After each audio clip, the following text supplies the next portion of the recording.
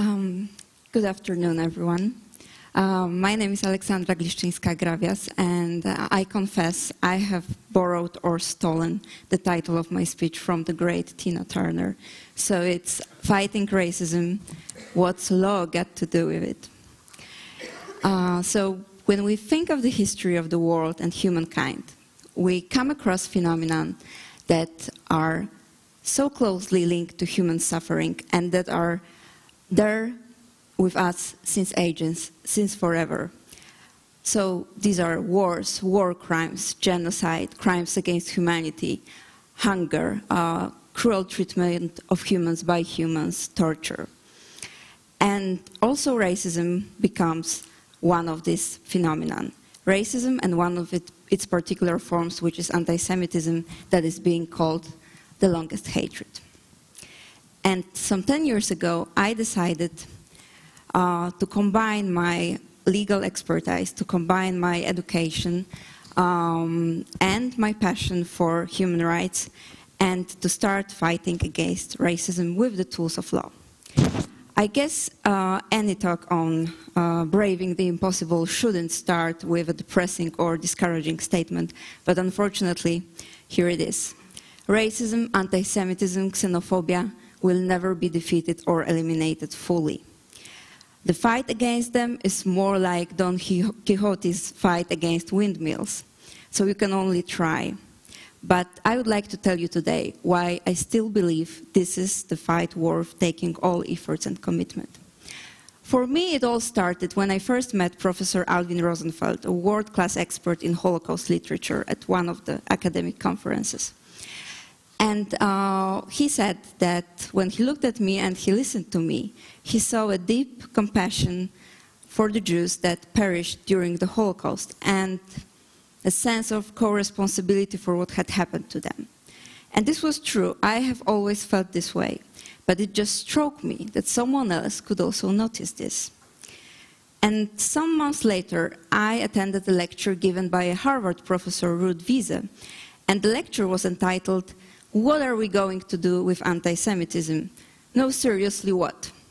And the way Professor Wisse spoke about fighting anti-Semitism, how passionate she was about it, uh, was so enlightening and inspiring for me in so many regards. And today I'm sure that both Professor Wisse and Professor Rosenfeld inspired me and gave me courage to turn the inner sorrow and pain that I truly felt um, into action against the evil that caused these feelings. And so I decided to combine this growing urge to do something about it, to do something about anti-Semitism, racism, with my legal background. Um, and since then, I have been trying to brave the impossible. But now comes the controversial part that everyone is waiting for. The law doesn't work. I mean, the law doesn't work the way it should when it comes to the phenomena that are so closely linked to human uh, feelings. Because you can force someone to stop stealing with the tools of law, but you're not able to stop someone from hating another person because of that person's color of the skin, religion, or national or ethnic origin. This is much more complicated and demanding. But we shouldn't give up I truly believe in the social responsibility of law. And if we agree that the system of legal norms, and in particular this part of this system that belongs to the body of criminal law, has been established as a kind of demarcation line between this what is acceptable and this what is not acceptable and condemned in a given society or community, then I argue that racism should be punished and condemned on an equal footing as stealing, reckless driving, or, or fraud. What is more, I perceive racism as much more socially harmful than many other crimes that are traditionally being included in criminal codes. Second, I think that there must be limits to free speech. No genocide in the modern history of the world would have been possible without being preceded by hateful words. And of course, Nazi anti-Semitic propaganda is just a classic, well-known example here. But I also think about Rwanda, about genocide and war crimes that took place during Balkan War, where the hatred has been there, has been spread for years before the actual killings started. I also negate the concept of free marketplace of ideas, where all are free to express themselves freely, uh, even in the most hateful manner. And their ideas compete in a way, and the winning idea is the one that gains the largest support of the listeners.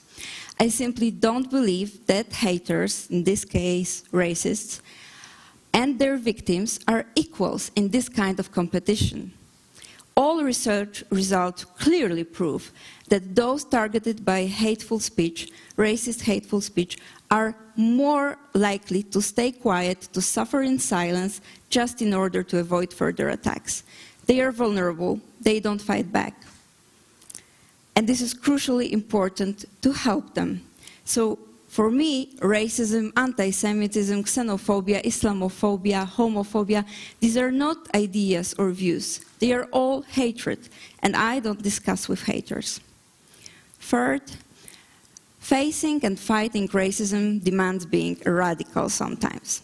As Elie Wiesel, a great writer and Holocaust survivor and Peace Nobel Prize winner said, we must take sides. Neutrality helps the oppressor, never the victim. And you can't compromise here. So you are not on good terms with colleagues who claim that apartheid had its good sides too, and you don't perceive Holocaust denial as just another opinion of someone who claims that uh, the Jews invented the great lie of gas chambers. And you don't laugh at even slightly racist jokes. And you get out of a taxi, even if already very late for work, if a driver makes, taxi driver makes um, uh, a homophobic remark. And then immediately you call the taxi company to complain. It seems obvious and easy, but it's not. It's demanding, it's even stressful, because you need to be constantly aware and constantly ready and willing to fight back, to respond. But it's worth the effort, really it is.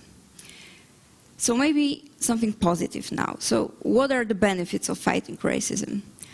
I'm a lawyer, and in line with all unfair, exaggerated stereotypes uh, associated with this profession, I'm really interested in gaining as much as possible and winning the cases. So, what do we gain by fighting racism?